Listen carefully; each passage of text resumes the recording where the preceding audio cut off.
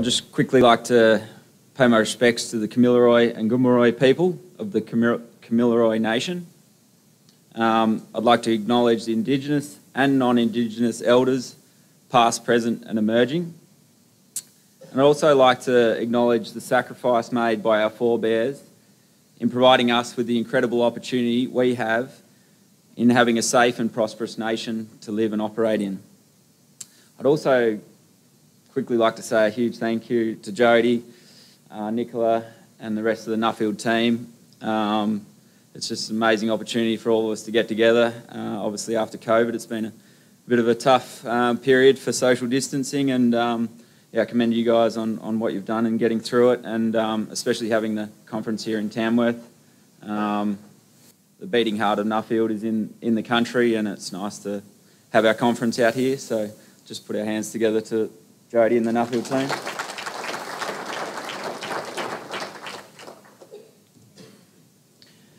So, Nuffield 2018. It was a whirlwind of awesome. Um, as some of, or most of you experienced, um, your lives have been changed through the organisation of Nuffield.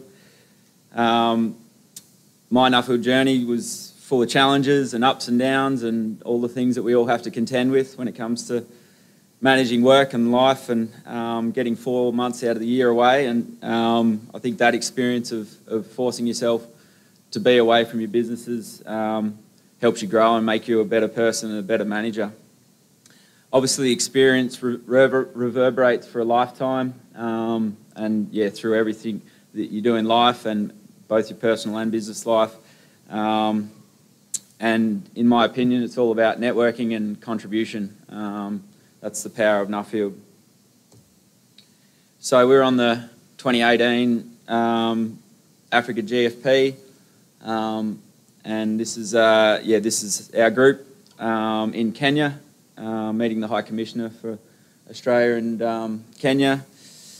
Uh, I'd like to make a special mention for um, the late great David Stanley. Um, he was one of our hosts for Kenya and he was, uh, yeah, one of the 1965 Kenyan scholars. His family, intergenerational uh, farming family in Kenya. And um, they're milking 300 dairy cows out in the paddock by hand with six milkers. They'll go out, the have a head bale with hay in it, and the milkers will call over by name the most productive cows because they get paid by how many litres they milk they um, milk for the day. So they'll call them over by name, sit down on the stool, and, and milk away. So that's the amazing thing about Nuffield. From that to Riverview Dairies in Minnesota that have 100,000 cows, milking 10,000 cows under one roof, 24 hours a day on a 100 bale rotary. And that's the sort of breadth of things we've seen. Um, just while I mention it, Nicola and I were having a bit of a joke before about um, it's not a Nuffield scholar. I mean, it's not a GFP if you didn't have to bunk in bed with uh, one of your other scholars. So Slady and I at the back there went tip to toe a few times in bed. Um, Shannon ended up with a baby though, so I don't know what. Uh, I missed out on that bit. so my topic uh, was the deep placement of organic amendments. Um, traveled the world and realised what we're doing here is pretty specific to what we're, um, our conditions and our soil types. So, um, yeah, had to really pick a lot of small things from different um, technologies and a lot of different people uh, around the world. Um, as Dan said, and Bernie said, um, talking about the fail small, fail often, and fail on screen. That's what the guys from Saskatoon in Saskatchewan um, told me, and um, yeah, really learnt from that um, and took that into to my technology, building a subsoil manuring machine when I got back. Um, so I was approached by Sustainability Vic, and um, they were trying to manage um, green waste from Melbourne, work out a way to not put it in landfill and have it just producing methane. So they were interested in deep placing that um, in, into the subsoils. So uh, we paired up and, and, we built one of Australia's first commercial subsoil manuring machines uh, and sold it to Yallock Estate, uh, Yallock AgCo, and um, yeah, their contract commercial subsoil manuring organisation now. Um, this is a machine we built. Um, yeah, just um, rips rips into the subsoil and um, drops compost down into the chute, and you end up with a, a deep band of compost in your hostile clay subsoils. So, um, yeah, this was a field day we did back in 2019 um, on a farm just uh, west of Geelong. Um, and um, yeah, sort of getting people together and, and showing what the machine could do. So, um, yeah, the real benefits to, to the Nuffield experience. So, the whirlwind since uh, my ex- Nuffield experience in 2018, uh, as we've all experienced, it's been somewhat of a vacuum of time. Um, it's hard to know whether it's been 20 years or three, but um, when Jody asked me to do a Where Are They Now, I was like, geez, am I, am I that old? But, anyways, so um, I purchased a 700 acre uh, ex Prime property um, and um, yeah, converted this back into farmland over, over three years. Learned a lot about um, yeah, forestry reversion. Um, I was lucky enough to become a member of the Young Farmers Advisory Council, advising the Victorian Ag Minister around the needs for young farmers, which is obviously relevant for all of us here and what we're trying to achieve at Nuffield. Um, I became the president for the Lake Charlegrark Country Music Marathon. It's the biggest um, event in the West Wimmera Council, Country Music Festival. We're coming up to our 30th, 30th birthday in Feb next year for anyone who's in that part of the world. Um, uh, helped support and advocate on behalf uh, of the Victorian South Australian cross-border community during the uh, border closures of the COVID-19 pandemic.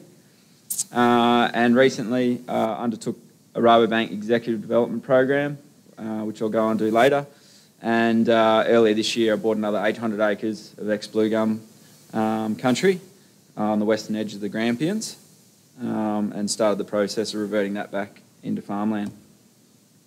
Um, so, yeah, sort of um, the places that and opportunities you get um, when you put yourself out there and, and willing to work and contribute. And um, yeah, lucky enough, that photo is not formatted very well, but um, I was lucky enough to um, be asked to Christmas lunch with the Honourable uh, Linda Dessau uh, and her partner, and um, and yeah, it's just uh, a really humbling experience. So, um, the Young Farmers Advisory Council uh, is a is a seven-member committee that advises the Victorian Agriculture Minister on needs for young farmers. Um, we've really taken it on as um, our charter to forge pathways for young people to get into agriculture. Um, you know, with a, with a bit of a desire to make Australia into an agricultural superpower to rival the likes of the Netherlands. Um, innovation, technology, education, and young entrepreneurs being key to the growth in getting us there. As a council, we've been pushing to ensure there is a clear guided pathway for young people of today to enter the industry, prosper personally, and drive the productivity and innovation of the future. We have recently guided a team of researchers to undertake a substantial report with five key pathway options for young people to enter the industry. We have fears that asset inflation, as Bernie spoke about um, over recent years, provides a greater barrier to entry for young farmers coming into the industry some of the major opportunities um, for future young farmers, I don't need to tell you guys about, but some that we see, um, especially based around technology uh, and where the mo- world's moving in terms of um, yeah, software and, and um, algorithm-based systems. Um, so yeah, basically, um, as Bernie spoke about, yeah, trying to trying to get people into the industry through building contracting businesses. Um, supporting and providing new technology servicing agriculture, um, increasing the use and need for software supporting agriculture. We spoke a fair bit about this at the um, uh, at the Rabobank EDP, and um, yeah, some of the incredible work, especially in corporate ag, um, with um, the new technologies around apps, um, sensor technology. yeah, all things from logging near miss incidents and those sort of things. So really see that as a route that young farmers can really tap into and has a huge amount of upside potential when it comes to um, finance. So, um, yeah, young farmers can combine multi stream incomes to enter into land ownership. Building income and land area over time. So yeah, starting small and um, getting in with uh, a cash flow business or an off-farm income. And um, yeah, there's variable sources of capital nowadays when it comes to private equity, private debt, um, super funds really starting to come into the industry. So um, yeah, there's a huge mix now that there probably was less of 40 years ago. Um, some challenges for future young farmers, um, increasing size uh, and land prices, uh, barrier to entry, as I spoke about. Intergenerational wealth transfer is still the dominant practice, benefiting the haves, I suppose, and interest rate uncertainty and tightening lending standards, making it harder to get loans. Basically, um, that's a graph showing that um, over the last 40 years, we've seen a halving of the number of farms in Australia. Uh, obviously, a huge amount of consolidation, as we've seen, which is making parcel sizes bigger, and yeah, the routes to entry uh, for young farmers a little bit harder. Uh, so yeah, my business and educational journey um, started started contract hay baling business. Um, like uh, the first year, first year left school, um, and I've used a combination of contracting and purchasing land, and um, yeah, the cash flow of, of, the contracting businesses has worked in really well with buying land. Um, so yeah, in 2009, I bought 640 acre property, uh, grazing property, and um, yeah, sort of ticked along with a few different things since, and um, a bit of education um, in the middle. Um, so yeah, some of my key takeaways uh, for future young farmers. How am I going for time, Daniel? All good. Uh, yeah, so some of my key takeaways for future young farmers, as I spoke about, time in the market is critical. Get in as soon as you can.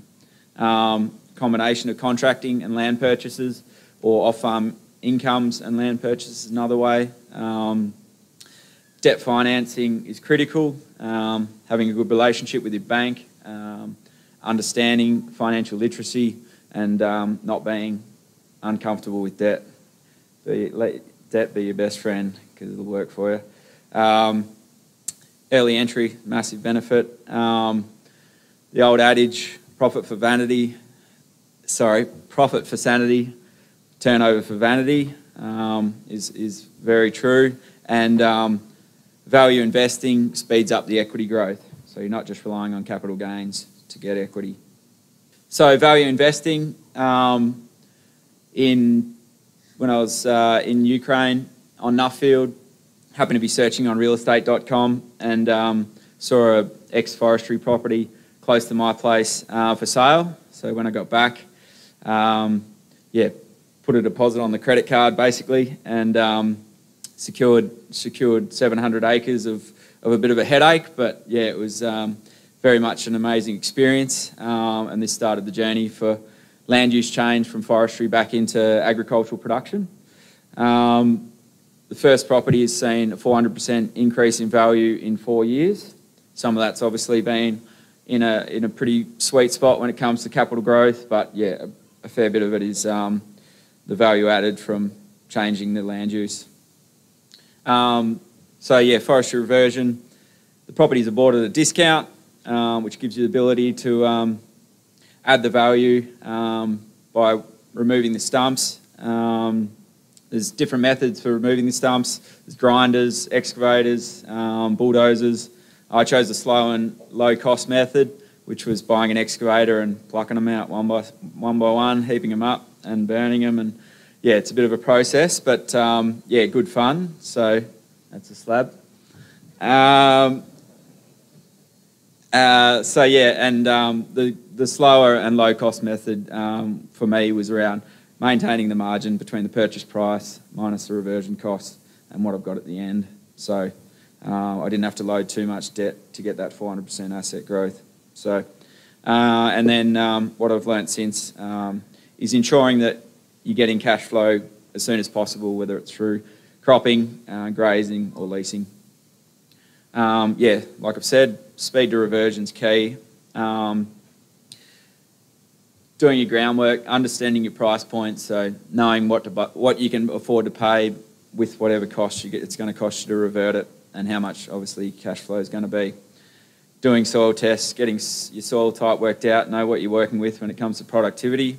Um, get your pasture and crop in the ground as quick as possible, keep the cost low, and use kangaroo fences. so they'll destroy you otherwise. Um, so now for a few fun um, photos. Hopefully they're going to work. Um, and um, we'll go see if that one's not working. This one is. So this is post, um, yeah, after um, the stumps are out of the ground. This is Bessie, the excavator, just heaping, rowing them up.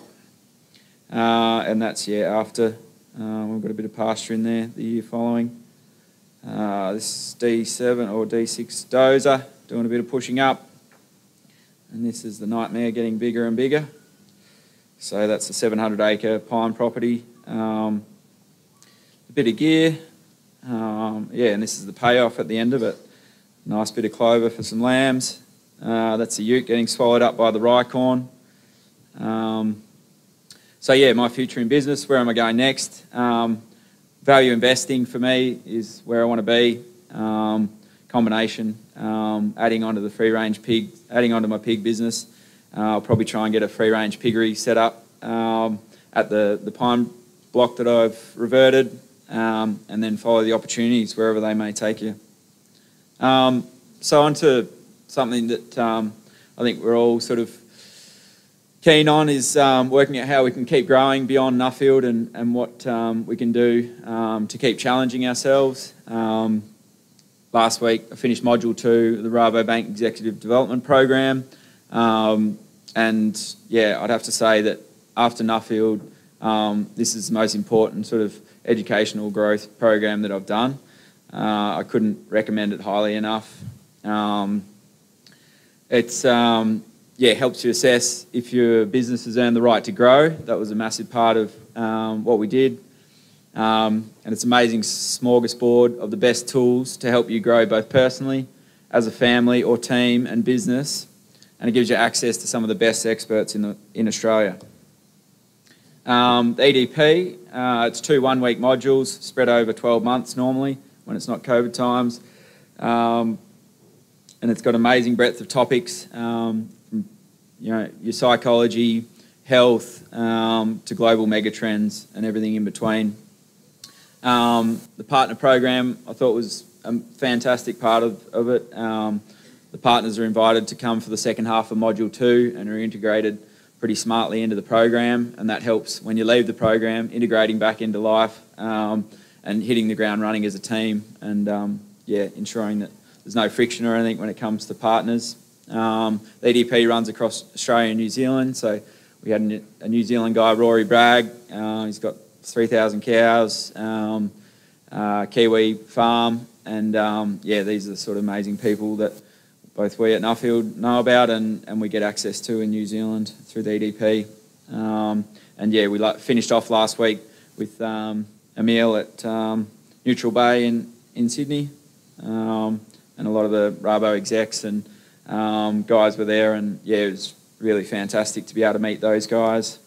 Um, some of the other leadership and development opportunities open after Nuffield um, the Australian Rural Leadership Foundation and the Australian Rural Leadership Program is another amazing one that some of you may have done or know about, um, but certainly something that interests me.